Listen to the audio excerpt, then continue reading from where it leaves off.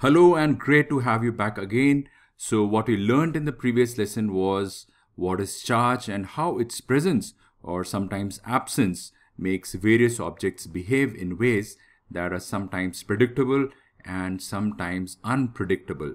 So with this understanding that we gathered in the last lesson, let us go ahead and see what exactly is Coulomb's law. So Coulomb's law applies to charged particles and for extended objects that carry charge. And when I say extended objects, I mean bodies like a stick or a triangle, etc., that may be carrying a charge. So while Coulomb's law or Coulomb's equation is quite simple for finding force between charged particles, we may need to use some mathematical techniques, mathematical jugglery to establish the same force for extended bodies and we'll do that in next few lessons. So when two charged particles are brought together, they exert an electrostatic force on each other. The direction of this force depends on the nature of charge or the sign of the charge on the particles. So if the charge is same, they will repel each other and the force vectors are directed away from the other particle.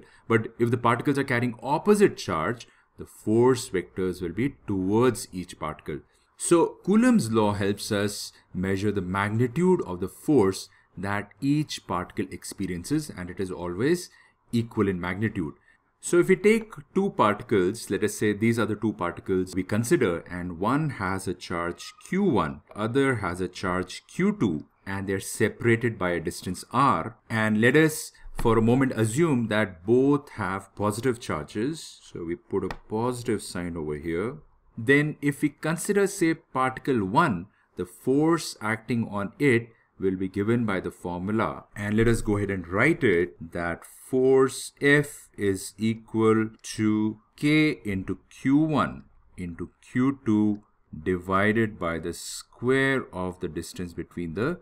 two particles. And let us also label the force over here.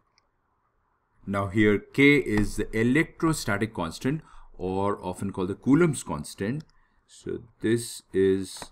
Coulomb's constant and we'll discuss more about it later. Now, since force is a vector quantity, we must write this equation in vector form. So if we assume that the two charges are, let us say, on the x-axis, then this force vector you can see can be written as, and let's go ahead and put an arrow on top of this so that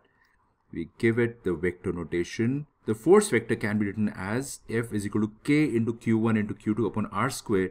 into let us say a unit vector i and we know that this unit vector points in this direction and its value is unity. So if we do so, we have given it a vector form. So in this case, since both charges are positive, the force is also positive because the product of q1 and q2 would yield a positive result and therefore in the direction of the unit vector i or in the positive direction. Well, if the two charges had opposite sign and let us say q1 was negative then the force on q1 would have been in this direction or the minus i direction or it would have meant it is attractive in nature since it is pointing towards q2 well if q2 was anywhere else on the xy plane then we would have put r instead of i so let us say q1 is over here. Then the force on it would have been in this direction or rather radially starting from Q2 towards Q1 and we would have said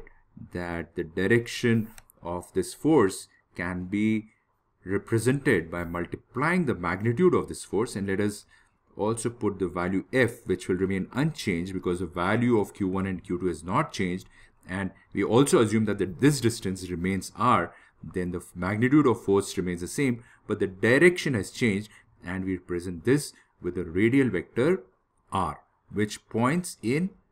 this direction. So we must remember that r or i are just unit vectors that are giving direction to the magnitude of the force calculated by using Coulomb's law. By now you would have found a striking similarity with Newton's law of gravitation that is F is equal to gmm upon r square and you can see that both laws have inverse distance square dependence and product of mass in one case and charge in the other. However, gravitational force is always attractive in nature while electrostatic force can be attractive or repulsive. And this is obvious since mass is of one type while charges are of two types that is negative and positive.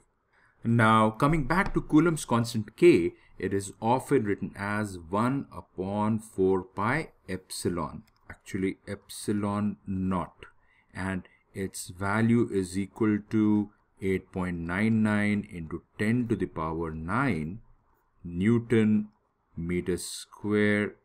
per Coulomb square. And here E naught or epsilon naught is called the permittivity constant and is equal to 8.85 into 10 to the power minus 12 Coulomb square per Newton meter square. And let me write this is permittivity constant.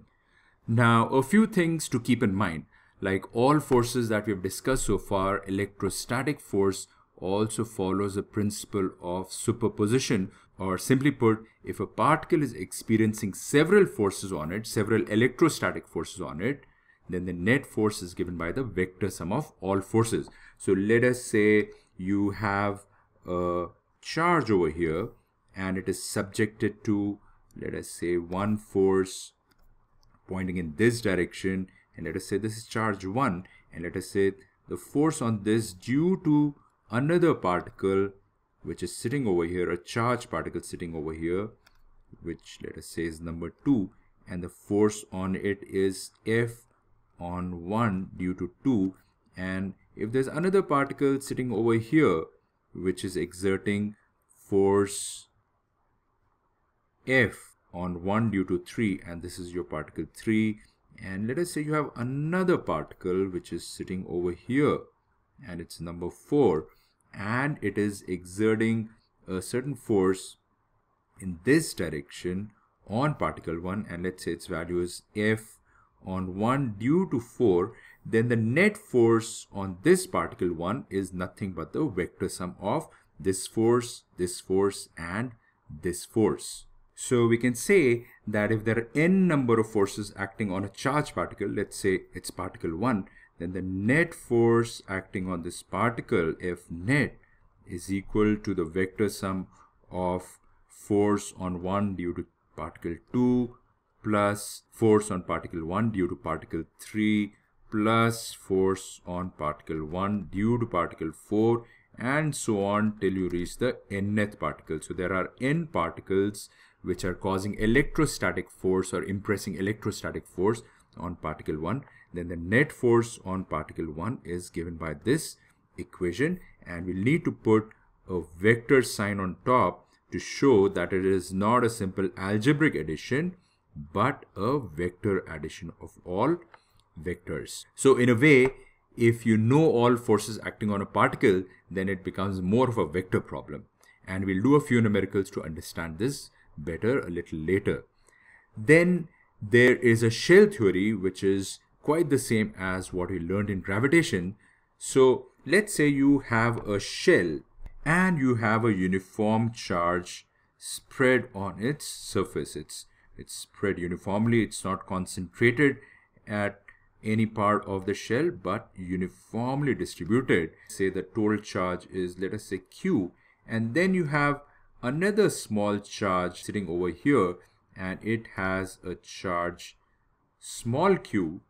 The shell theory says that the charged particle outside a shell on which the charge is uniformly distributed will experience a force as if the entire charge on the surface of the shell is concentrated as a particle at its center having charge capital Q. Another part of shell theory is that if you have a similar sphere or a shell rather which has charge uniformly distributed on the surface and if a small charge is brought inside inside this shell and let us say it has a charge q1 then the net force acting on charge q1 would be zero so any charge put inside a shell which has uniformly distributed charge will experience no force on it and you can see it's quite like the shell theory we learned when we were understanding the subject of gravitation.